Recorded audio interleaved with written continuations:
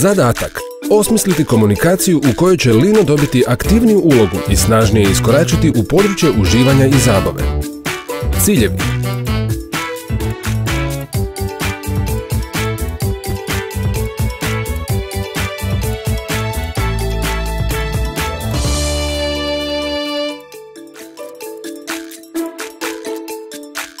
Izazovi Školska djeca do 12 godina starosti sve više počinje biti svjesna brendova, sudjeluju u kupnji i izboru proizvoda. Kako postati zanimljiv našoj ciljnoj skupini i snažnije ih povezati s Lino brendom? Ideja Lino je o tome razmišljao i nakon nekog vremena iz njegove male radionice izašla je potpuno nova Lino igrica na kojoj se temelji cijela kampanja Budi i ti Lino pobjednik. Realizacija Lino igrica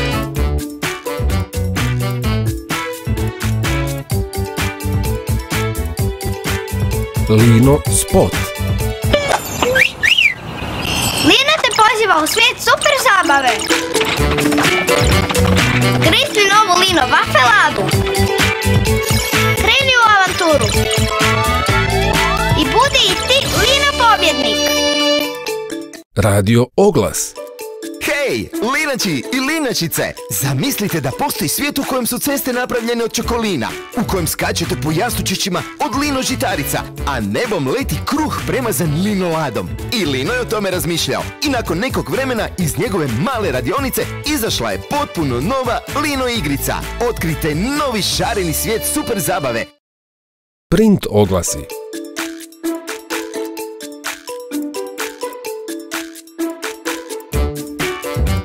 POS materijal.